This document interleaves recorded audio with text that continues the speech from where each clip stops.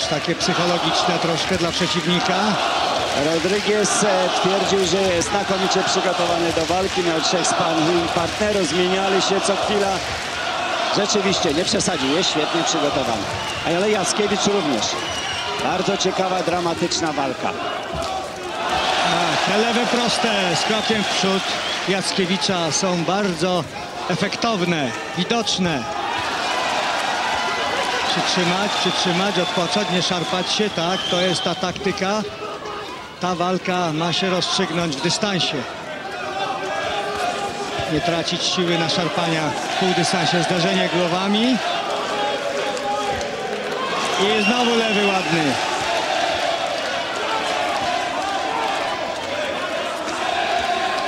Szybko odpoczywa Rodriguez. Już widać, że te ciosy są szybsze. Ale jest luka nad tą lewą ręką. Czy spróbuje Rafał tego prawego jeszcze?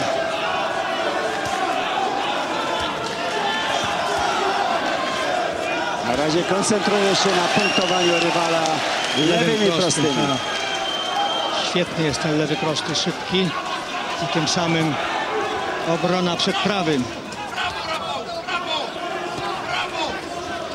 Tu świetna uwaga kogoś z narożnika. Rafał w prawo, to znaczy oddalaj się od tej niebezpiecznej prawej ręki.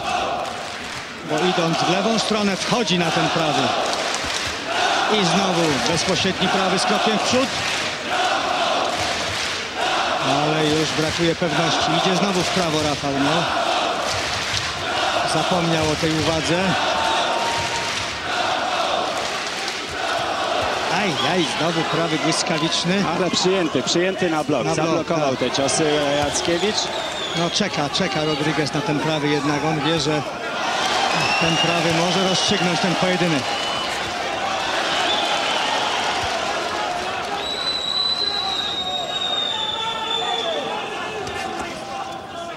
No troszkę teraz zmienił taktykę Rodriguez. Podwójną lewą atakuje lewy prosty, lewy sierpowy. O właśnie. I jeszcze trzeci dołożył. Ale tam była zasłona Jackiewicza. Znowu chce troszeczkę odwrócić uwagę Jackiewicza od tego, że przymierza się do mocnego prawego.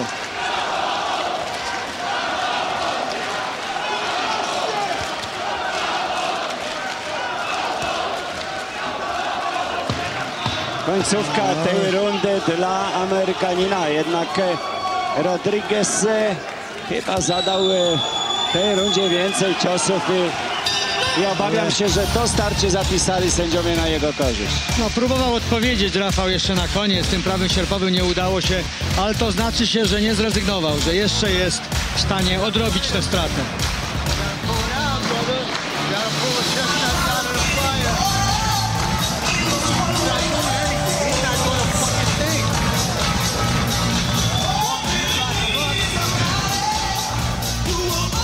Popatrzmy na powtórkę. Świetny lewy prosty. Jeszcze raz, no szkoda, że po tym lewym nie dołożył prawej ręki i jeszcze nie trafił mocno prawym.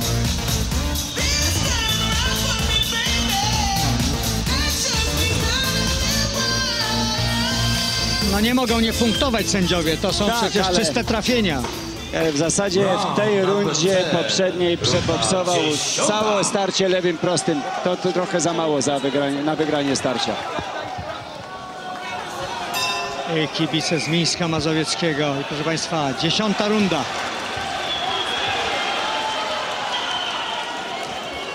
Czy odbuduje formę? Znowu próba prawego, ale ostrożnie. Już nie ryzykował Jackiewicz. Teraz powinna być ta druga taktyka, którą podał w wywiadzie z Tobą, żeby był prawy w dół, prawy w tył. I ciągle chodzi w lewo, mimo że widownia skanduje Rafał w prawo. Słyszeli uwagi z narożnika, że chodzenie w prawo jest niebezpieczne. Ale on lubi chodzić, bo wtedy ma bliżej również swoją prawą ręką do przeciwnika. I trafił w końcu prawym. Na dopuszczoną lewą ręką.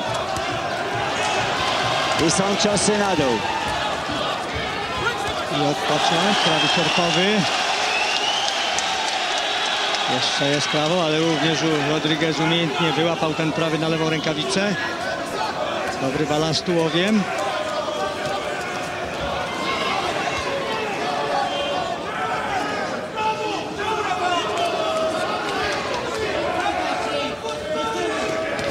Rożdzik Jackiewicza bardzo przeżywa te fragmenty.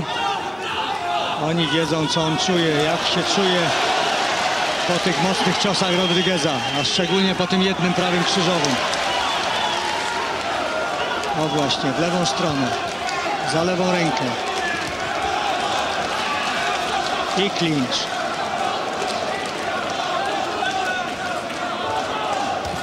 Przydałoby się kilka takich efektownych uderzeń Jackiewicza. Żeby dołożyć do tych lewych, prostych, znakomitych jeszcze prawy na dół, może prawy na górę. Dobry unik przed prawym. Oddala się, a proszę jak ładnie od tej niebezpiecznej prawej ręki Rodrigueza. Troszkę za nisko. Świetna praca sędziego ringowego. Eddie Cotton e, nie ma tutaj za dużo roboty, walka czysta. Świetny lewy właśnie. Zatrzymał ten lewy. Mocny prawy Rodrigueza. Odskoczyła głowa Rodrigueza. I bliżej nogami tylko Rafał. Bliżej lewa noga. I ten lewy prosty. Zadrżałem, bo by Znowu był prawy na odsłonił się, tak. odsłonił się Jackiewicz. Na ten prawy, ale na szczęście rywal nie trafił. I clinch. Odpowiedź prawym sierpowym. Równo z gongiem. Końcówka, ostatnie pół minuty dla Jackiewicza. Myśl, mam nadzieję, że sędziowie to docenili. No powinni to zauważyć, bo ta końcówka była bardzo ważna. Kilka tych lewych prostych również. No zobaczymy. Ostatnie dwie rundy. Nie lecieć, rozumiesz? Lewy pojedynczy, punktujesz. Zrejestrowany być? Tak. Zero, dasz rady nie wpadać? Nie. No, obawy trenera. Pytanie, czy dasz radę? Trenerzy wiedzą, co on odczuwa po takich ciężkich ciosach.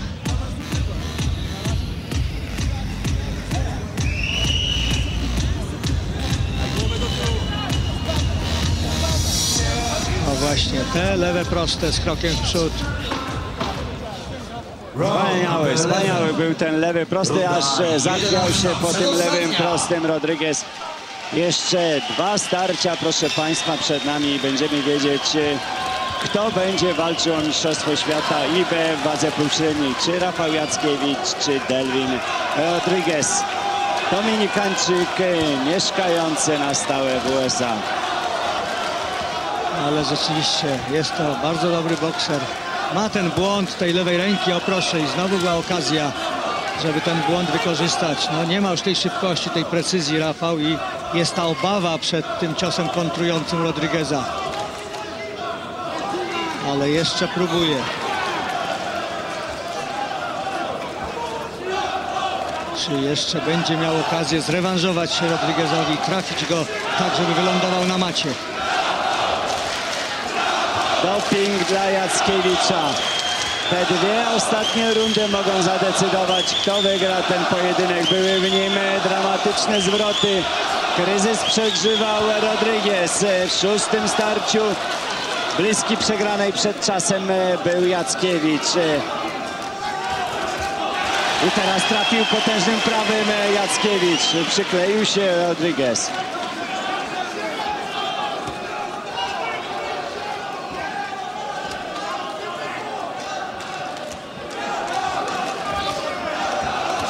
I jeszcze jeden prawy sierpowy. Następny. No może uda się. Ale proszę, jak odpowiedź, jaka odpowiedź, jaką przygotował odpowiedź Rodriguez. Nie trafił tym prawie, jeszcze raz prawy sierpowy. Ostatnia minuta przedostatniej rundy zaraz się zacznie. Teraz Rodriguez troszkę głową. Niebezpiecznie. Podenerwowany trener Łapimy. Paweł Skrzecz również.